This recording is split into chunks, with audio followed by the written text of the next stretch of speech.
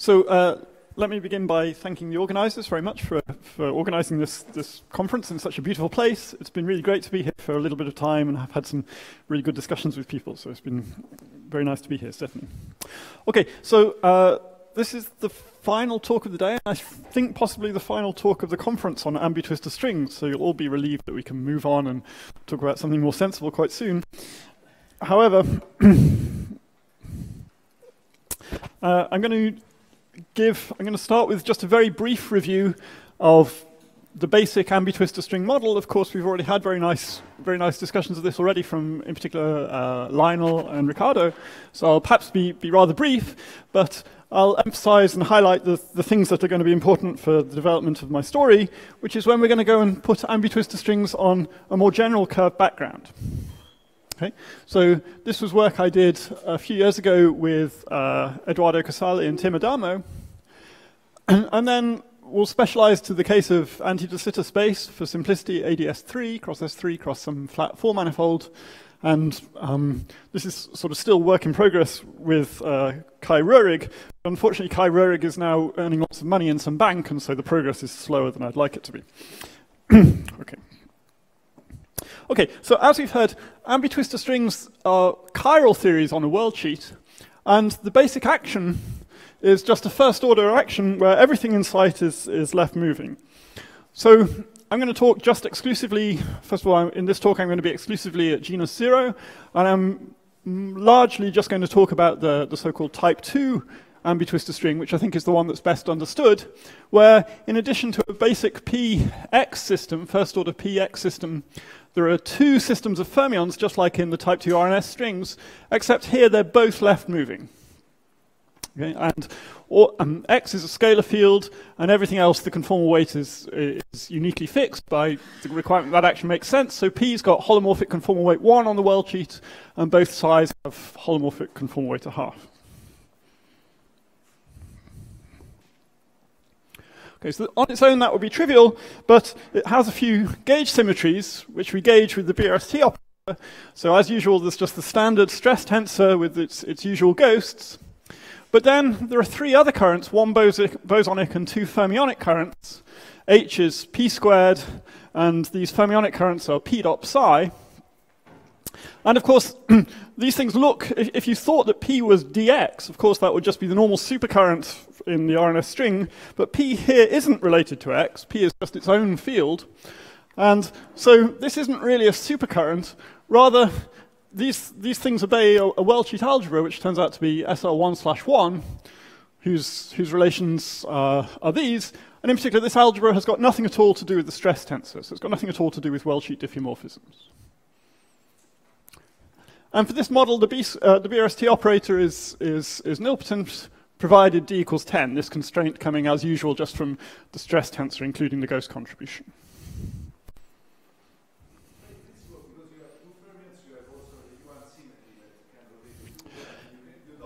We don't gauge that, no.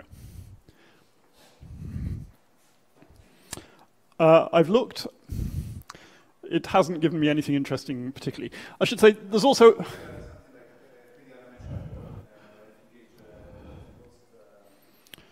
it won't change it that much. Um, I, I, I, sorry? Yeah, yeah, it, look, it, it certainly looks very similar. Uh, but again, remember that, that, that, it's not an n equals 2 string in the sense that this is not world sheet supersymmetric. Rather, it's a sort of super, super gauge theory on a world sheet in some sense. Um, a gauge theory with a supergroup. There's also, there's also a sort of obvious Z2 cross Z2 subgroup of that U1, which acts individually on psi 1 psi 2. And we do gauge that, i.e. there is a GSO projection. Further questions on this?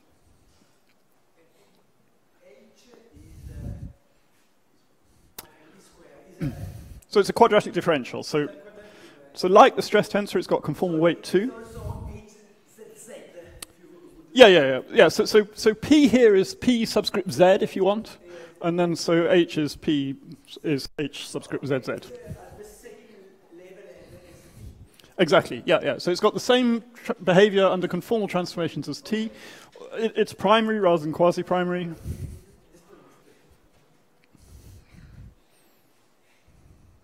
Okay. So with those fields, the simplest vertex operators you can write down um, just look like this. So they've got both the ghosts, they've got both uh, the fermionic ghosts, delta functions in, in the fermionic ghosts. We could write them in a bosonized way if you like. Two of the fermions, some polarization tensor, and a plane wave. of course, these are similar to those to the standard vertex operators that you get in, in the RNS string, but here all the fields are left moving or holomorphic, so everything has got at most holomorphic conformal weight. And an even more important difference is because the XXOP is trivial, the kinetic term was just P d bar x, so the XXOP itself is trivial, this plane wave has got no anomalous conformal weight. There's no normal ordering issues in e to the ik dot x. So it's got vanishing conformal weight, whatever you choose for k squared. To put it another way, there's no um, the, the, the mass shell condition for the vertex operators has got nothing to do with the world sheet stress tensor unlike in normal string theory. Instead, the condition that k squared actually has to be zero, together with these transversality conditions, of the polarization tensor, come from OPEs between these other currents that we're gauging. So there's obviously a double pole with p squared and that vertex operator, which is proportional to k squared. And so that's where the field equation comes from. Okay. So precisely because it's come from here rather than the stress tensor, there is no choice. K squared just has to be zero. There are no massive states in the spectrum. After GSO projections on each of the two fermions, and also including the Ramond sectors for each of the two fermions, the complete spectrum is just that of type 2 supergravity in 10 dimensions, A or B, depending on how you choose the, the chiralities of the target space spinors in the Ramond sector.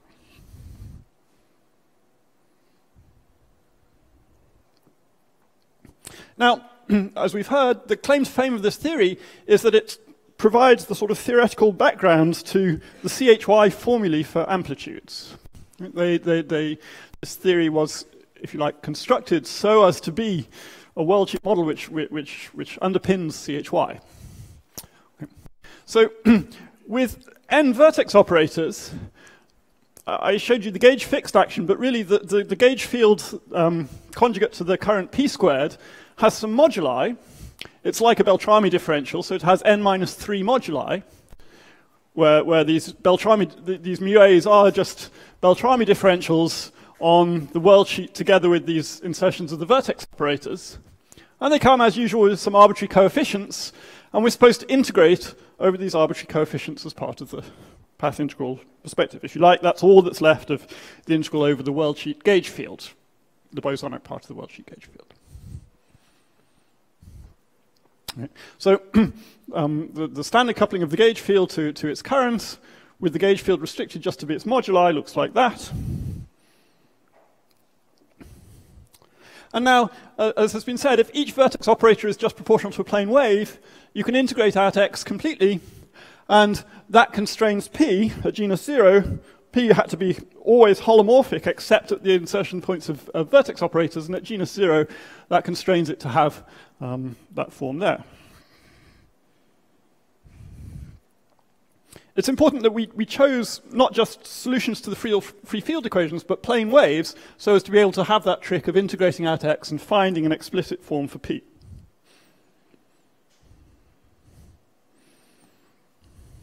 And then the standard choice for what these Beltrami differentials are is you just say, well, it just extracts the residue of the quadratic differential. It multiplies at one of the mark points for your choice of n minus 3 mark points. And so if we extract this at the ith mark point, we get these scattering equations.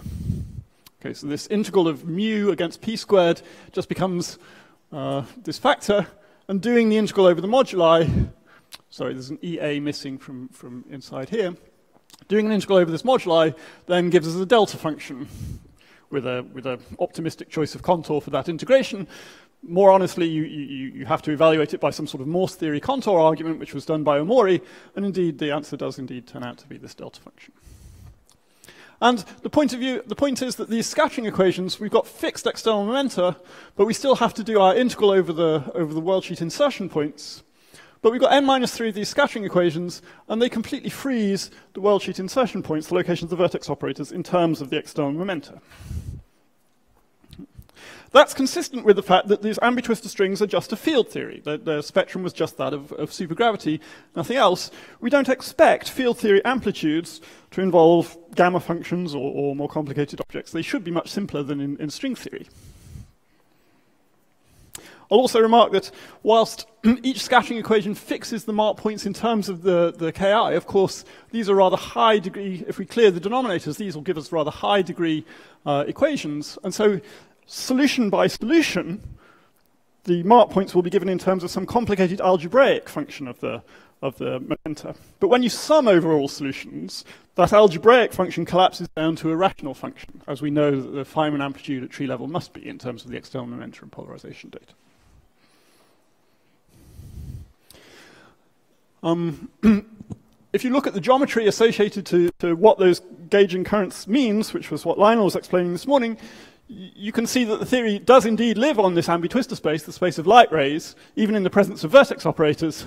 And the worldsheet correlation function gives us exactly the gravitational amplitude in the form of the CH form, where these, these Pfaffians I won't go through the details, but the Pfaffians come from evaluating the correlation functions of the fermions, or the, the polarization data sitting in the vertex operators, and the Jacobian involves from just solving the solutions to the scattering equations in the delta functions.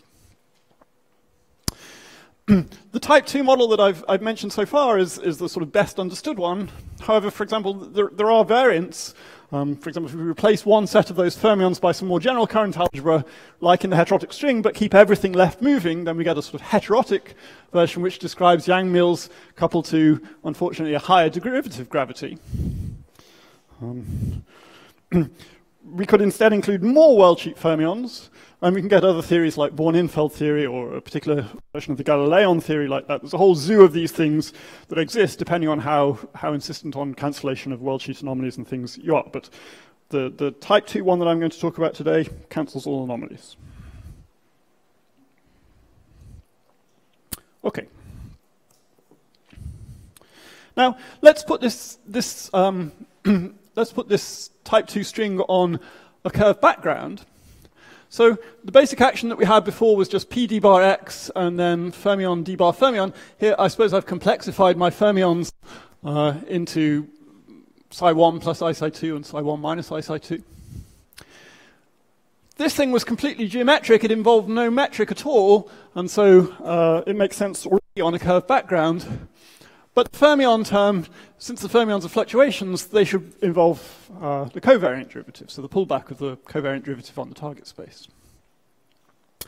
However, we can always, if we like, since this covariant derivative comes with a piece proportional to d bar x, when we pull it back, we can always shift the field p to a new field pi so as to absorb that, that uh, connection term, the Levi-Civita term, in terms of, of pi.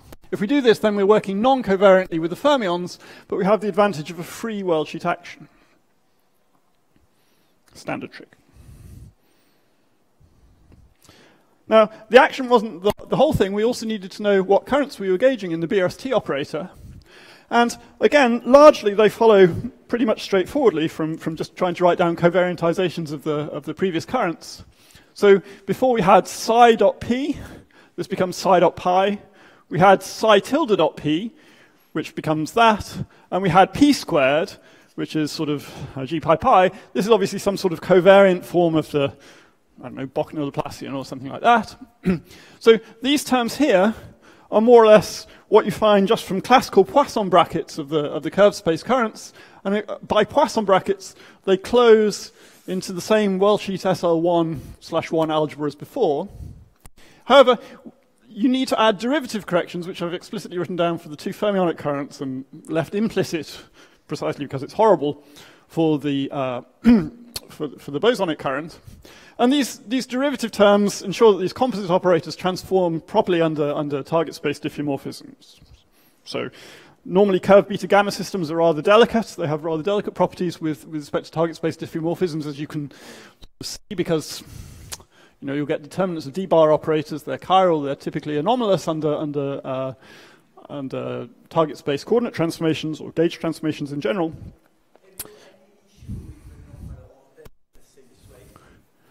So, so yeah, you can think of these as being normal ordering.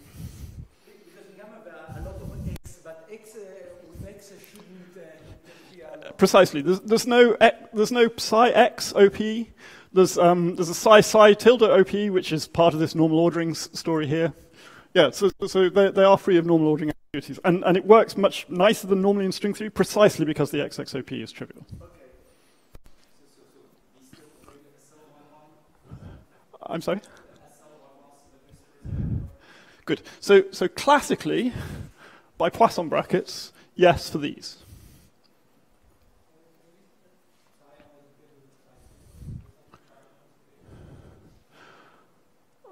Uh, so there's an obvious U1 which we're not gauging but was referred to before, so it's a global U1, I suppose. This has charge 1, this has charge minus 1. What do you mean by physical? It's not gauged.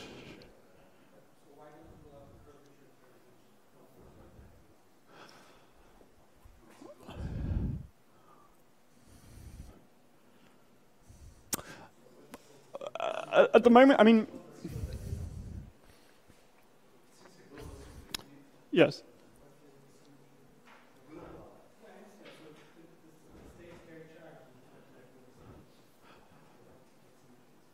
The states are actually uncharged with respect to that symmetry.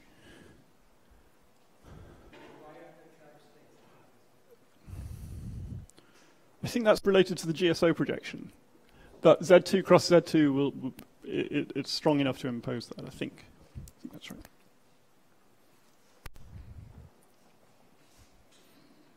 Okay, so I, as I said, classically, the Poisson brackets of these, of these currents obey the same algebra as they did in the flat space model.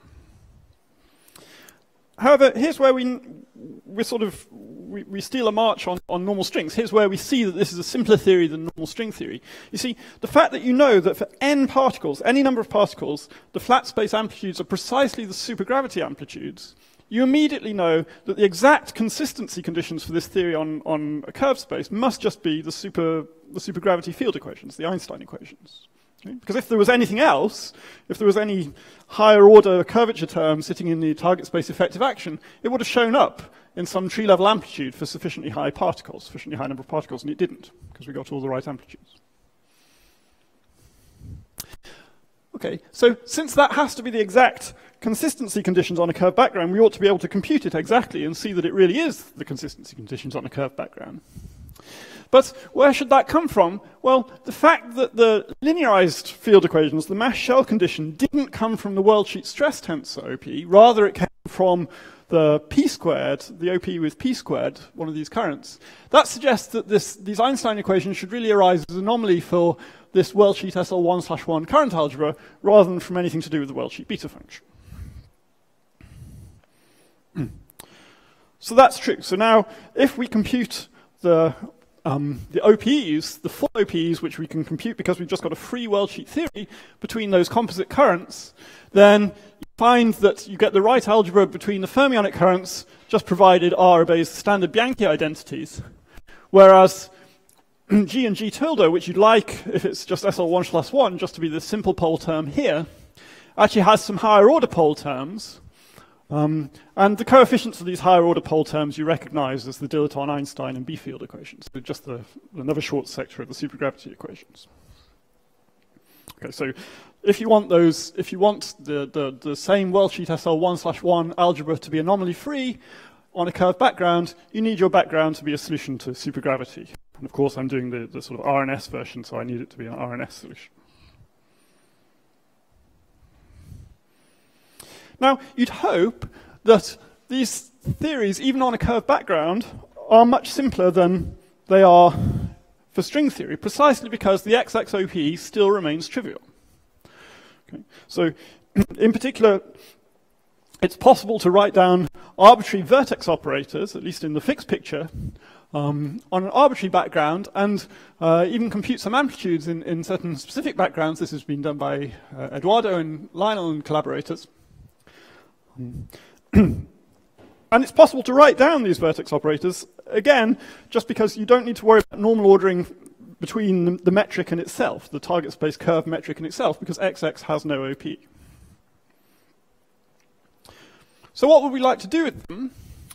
Well, an obvious goal, although I'm afraid to say an unrealized goal, is to try to understand a sort of ambitwistor string on anti de Sitter space with the aim of obtaining what you might call a CHY formula for tree-level supergravity in ADS, so a resummation of all n-point supergravity Witten diagrams in terms of some sort of scattering equation type object, solutions of some sort of ADS version of the scattering equations, that does for Witten diagrams what CHY does for Feynman diagrams in flat space, even at tree level, even for just supergravity.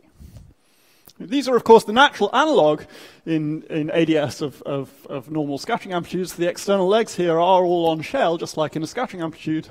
And it seems to be worthwhile. I mean, for n-point such uh, correlation functions, much, much less is known. It's known already about flat space n-point amplitudes. So, so, it's kind of really new territory here.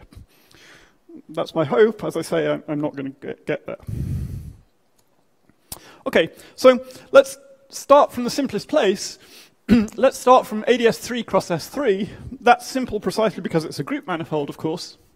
And um, so that's a solution. Well, so, so, so uh, okay, I, am I'm, going to put it at the sort of pure Neveu-Schwarz point of its moduli space, where the flux in in the in the ADS3 and the S3 is is just the Neveu-Schwarz 3 form. And because it's a group manifold, we can adapt the ambitwistor string to that. So instead of p dx, I'm going to have a sort of Wess-Zumino-Witten-like term. Instead of d, d bar x, I've got g inverse d bar g. And instead of p, I've got j. And once again, j is just its own field. It's got nothing to do with the derivative of g. And again, I've got some, uh, I've got a pair of fermions. Sorry, I've used bad notation here. So, so psi and psi twiddle are now both real fermions on the world sheet, or, or um, they're not complex conjugates of each other, at least. okay, with the usual sort of group covariant derivatives and some choice of uh, a bi-invariant metric on this product of groups. So if the group was semi-simple, if we just had one factor, that would have to be the killing form, but it isn't semi-simple, and so it doesn't have to be the killing form. MAB is symmetric, yeah. Yeah, it's, it's, it's just a metric on, on the product of groups. I'll, I'll say explicitly what it is later, but it's, it's the standard thing that you know.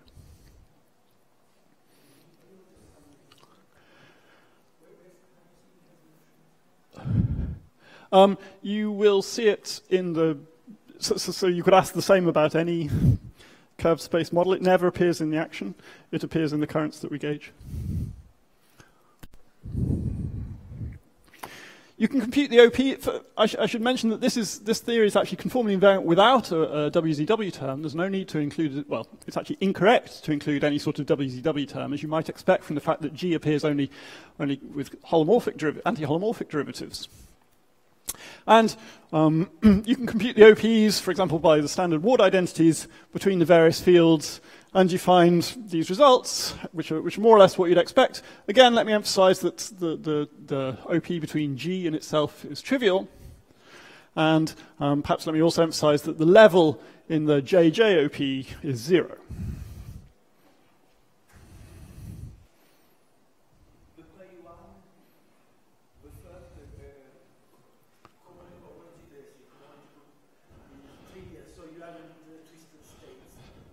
Uh, that's certainly true.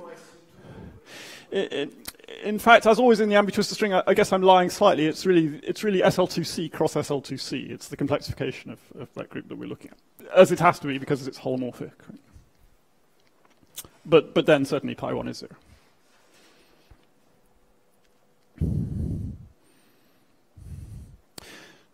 And I think pi 2 is probably also 0, which is more relevant because it's holomorphic maps. Okay, so to promote that basic model to an ambitwistor string, again, we have to gauge our currents, like the flat space p squared, p dot psi, and, and p dot psi twiddle. And we find that these are the right currents. So again, there's some sort of obvious covariant Laplacian on the group, and some sort of covariant analog of, of, of the two currents, of the, of the um, the currents involving the fermions. These things are completely free of normal ordering ambiguity, so individual terms here, for example, this term, there is an OP between j and psi tilde, so that thing individually, if you point split it and, and regularize it in some way, it'll depend on the regularization, but the whole thing, there's no ambiguity. There's a, there's a unique operator, unique meaning to what those things can be. And if you compute the, the OPs between these, then again, it's very nearly just it's very nearly just the SL1 slash 1 algebra that you expect, but there's this higher order anomaly term involving the contraction between the, the choice of metric that you made in the kinetic term and the killing form on the group. But of course, that's just the Einstein equations. Because we're on a group manifold, the Ricci tensor is just proportional to the killing form. Um, Nathan's question, the, the three-form flux is again proportional to the structure constants of the group, and the dilaton is constant. And then with those choices, the Einstein equation and the B-field equation are just automatic.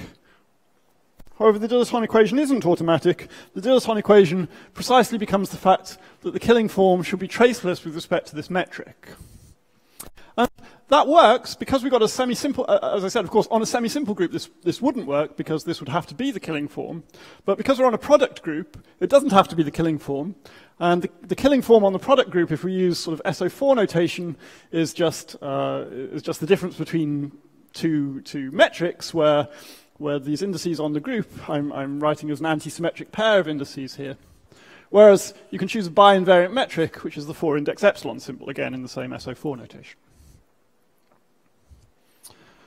Once again, the central charge vanishes, so, so although the world worldsheet SL1 slash 1 algebra is, is completely anomaly free, the BRST operator receives a contribution squared, receives a contribution from the central charge, it also involves the stress tensor. And that still vanishes if and only if D is 10, so we need to couple, just as, as normal, to some sort of flat internal four manifold. I'm not going to talk about those states in this talk.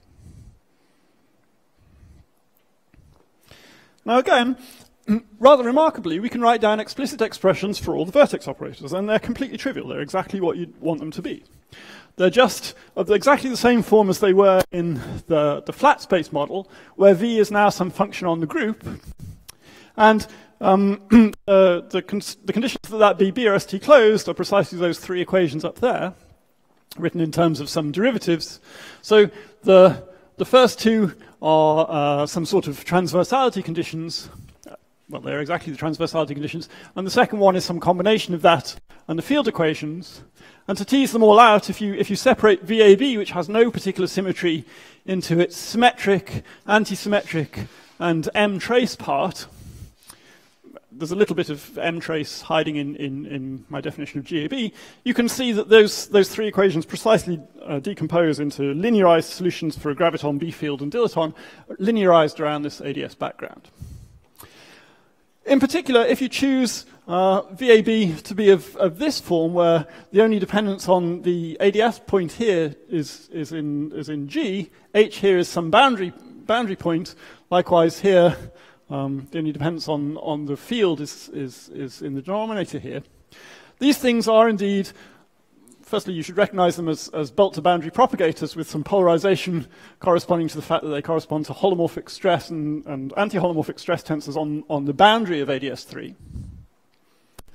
But again, these have such a nice form precisely because the GGOP is trivial. So you can check that these things are indeed in the BRST cohomology. They do, at the quantum level, they are Q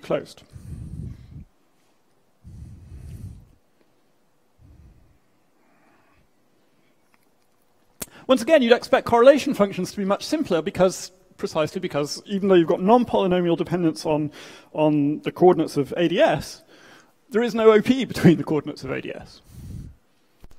So except for the scattering equations, the, the, the non-trivial part always comes from, from the OPs between the, uh, the fields J and the fermions with the, um, uh, with the ADS story.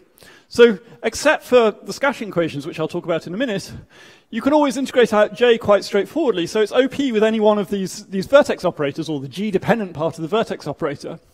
We can always trade that. Of course, this just generates right translations on the group.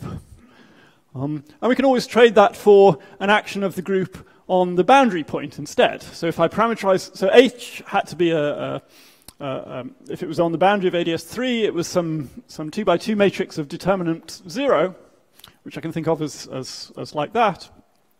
And then these three derivatives, you can, they act explicitly on this boundary coordinate x in this way, where these three just generate SL2 acting on the boundary, the boundary conformal group. Delta is the conformal weight on the boundary.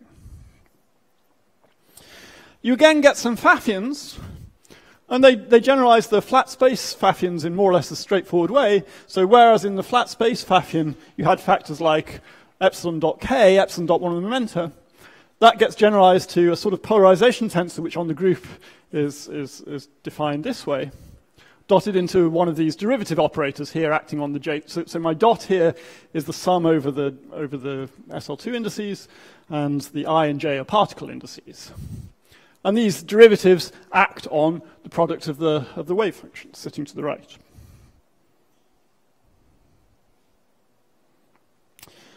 Just as a small sanity check, we can compute explicitly the two-point and the three-point correlation functions of, of, of, these vertex operators, and you get exactly the right answers for, for two- and three-point correlation functions of, of various combinations of boundary stress tensors. But of course you did, they're fixed by symmetry, there's no big surprise there just as a, a small sanity check. Of course, the real challenge is to understand what can be the ADS scattering equations, and they only arise when you've got more than three particles. So the, the, key thing was to understand the action of this sort of group space Laplacian.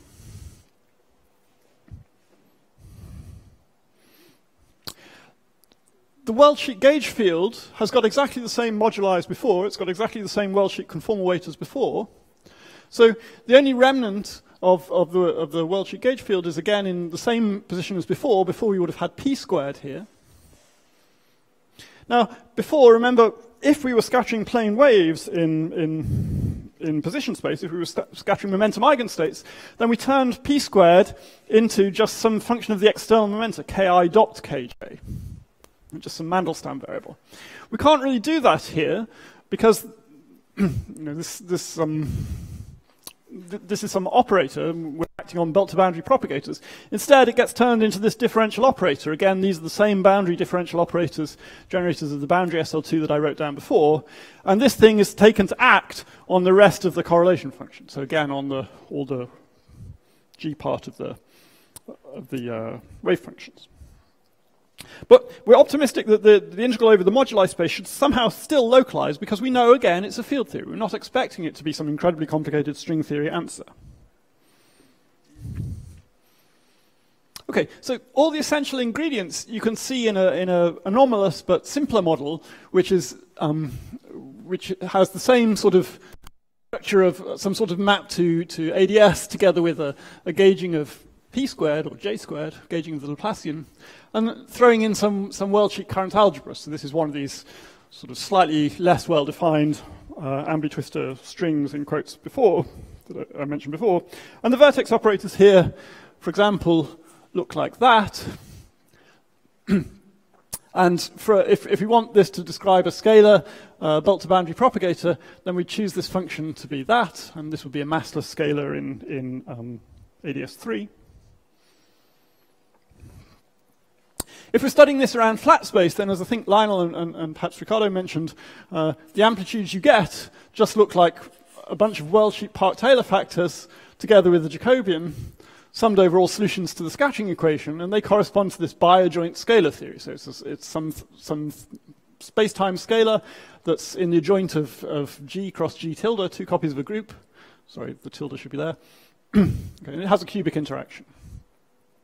However, this worldsheet theory isn't just a theory of this biadjoint scalar. It also contains, as you'd expect, it contains uh, a gauge field, the gluons that, that, that, gauge each of these, these groups, and it also contains some sort of spin 2 particle, but both of these things are, are slightly badly behaved. They're higher derivative. So I, I, don't wish to take this particularly seriously as a, as a theory. However, if we just extract the double leading color trace parts of it, then these double leading, by which I mean single trace in, in G, single trace in G tilde, those terms don't contain, if you just try to construct Feynman diagrams, they don't contain any internal diagrams which, which have any of these badly behaved states flowing.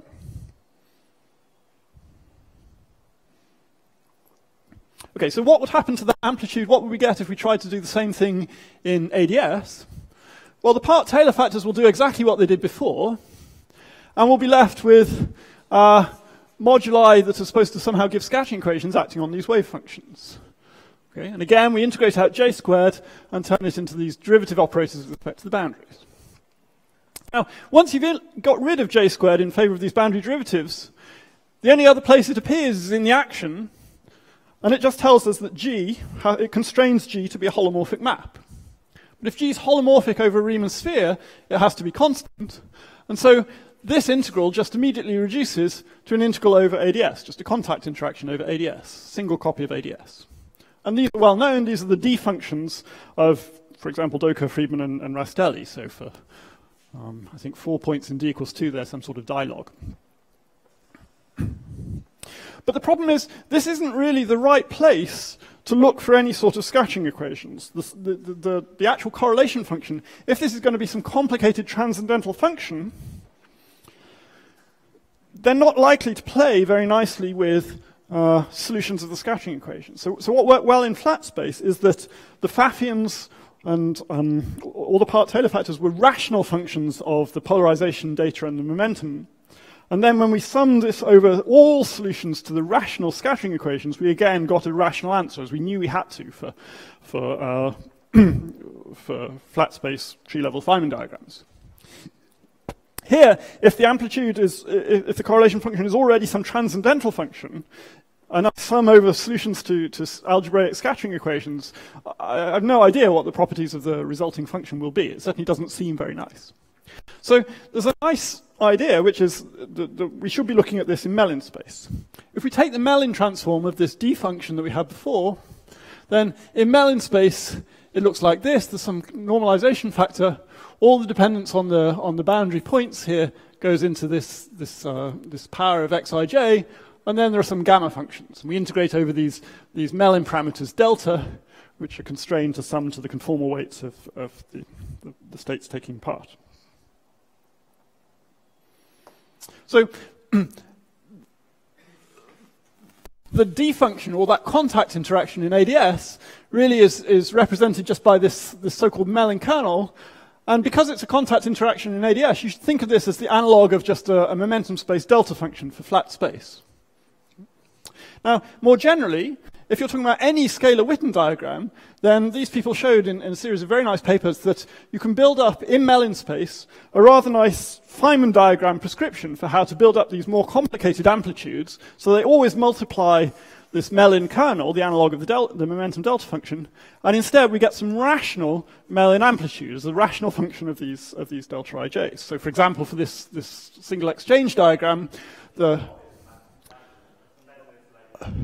yeah, for, for, massless particles in, in 2D, if, if delta equals d, then it, it's rational. But yeah, I agree. Normally you get some horrible hypergeometric things, but they all truncate if you, if you choose appropriate states. yeah, so for example, in, in, in, um, in d dimensions, this single exchange diagram of massless scalars will, will give you a, a diagram like that. Okay, so the fact that the Mellin amplitude is rational is encouraging. That's, that's sort of what we want from our, our scattering equations. So what I hope happens, and, and, what I've been unable to show so far, is that, so, so, so what we should do is we have to work out what's going to happen, how this, this differential operator acts on the Mellin kernel. So before it would have just given some Mandelstam ki.kj. Here, I'm not so sure what it gives, then the idea is that integrating over these moduli again give us some, some delta functions localizing on solutions to whatever that is. And then we just evaluate um, those delta functions. We evaluate the worldsheet uh, insertion point integral by, by saturating those delta functions. So this thing is sort of the bilocal part of the, of the group Laplacian, the SL2 quadratic Casimir. Acting on that Mellin kernel, it, it gives this, and you can check it has all the right properties. Indeed, so it was important for this thing to have no double poles, that if I took just the, you know, to have no pole at infinity, for example, that if I took uh, just the numerator and I summed over all particles apart from, apart from one, it gave zero, analogous to this in flat space, and indeed that's true of this expression. for the same reasons, actually. What is what, sorry? Oh, delta is the conformal, so, so everything is a massless scalar, so, so here it's 2, actually.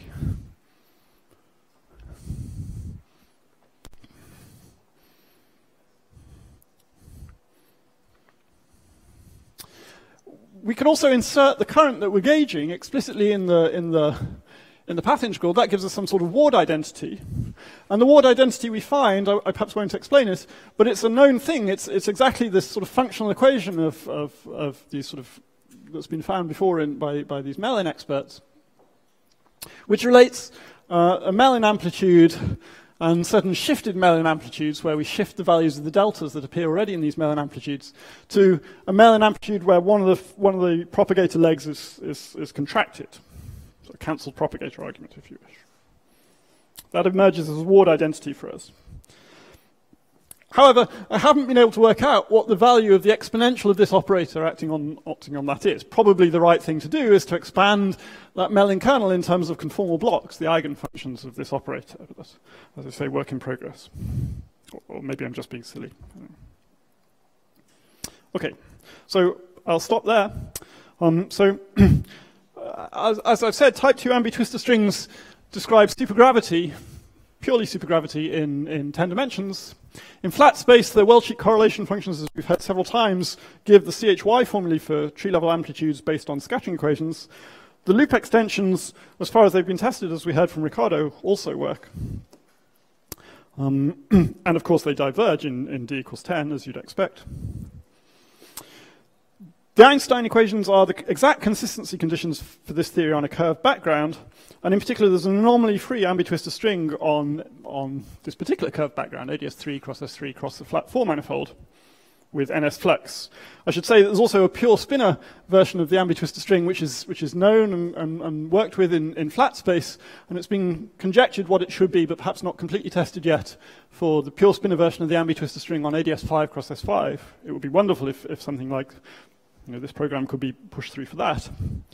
Um, the CFT correlation functions are straightforward to compute in any of these models, again, precisely because fundamentally the XXOP is trivial. Well, or even more fundamentally, because it's a field theory.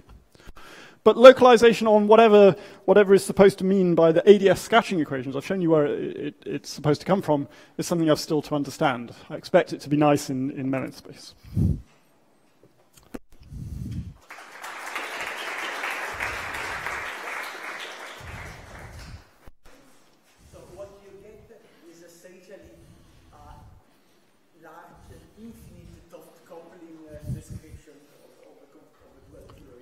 Yes. It's pure supergravity in the bulk. Yes. Yes.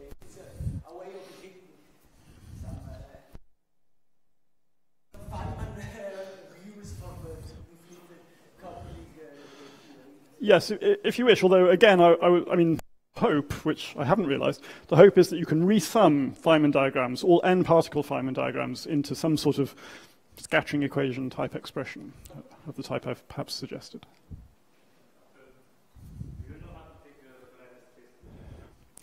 That's a good question. Yeah, um, yeah, that's something I should try to do with the Mellin space thing. Of course, wh whether that can be done before localizing on solutions to the scattering equations that I don't know, or, or whether, I mean, of course, there's a well-known and very simple prescription for how to do that directly if you have the Mellin amplitude.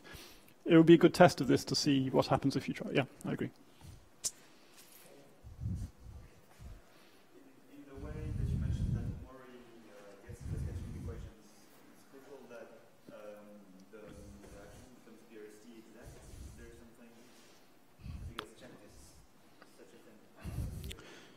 I imagine it goes. I mean, that's all the story about the moduli of, of you know, either this uh, worldsheet complex structure or the or, or, the gauge field. I imagine that goes through in the same way. The, the key difference is in flat space we could understand what p squared was in terms of external data. Here, j squared okay, perhaps writing it in terms of conformal blocks, uh, writing its action on conformal blocks is a good thing to do. But at the moment, I haven't been able to understand what, you know, what that is except as an operator, either a CFT operator or a differential operator. Um, and so it doesn't make sense to say what is a delta function of a differential operator.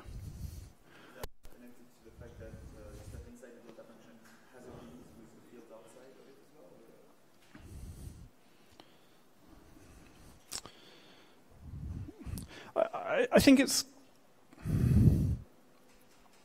I, I, think it's connected with, I mean, it's where you see the non-abelian nature of, of, of, I mean, I could have set up this whole story and said that I was con considering a group manifold which is just an abelian group. Okay? And then uh, instead of having the killing form, I would have had some bi-invariant metric on the group, so that would have just been flat space with the normal flat metric, and, and it all, would have all gone through the same. I think the, the remnant of the non-abelian nature of the group is, is hiding in the the non-commutativity of di.dj with di.dk or something like that. So maybe a main question, but the external part or just the massless part? Yes.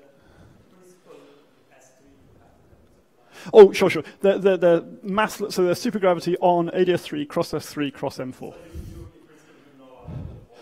Sure, sure, yeah, yeah. I mean, these are going to be the easiest ones to, to start with, right? So. Actually, of course, I mean, since we're just talking about CFT2, if we've just got stress tensors, holomorphic or anti-holomorphic stress tensors in the boundary CFT2, they were the n-point correlation functions of those were computed long ago by Zamolodchikov. So it's, it's, you know, these really should be easy.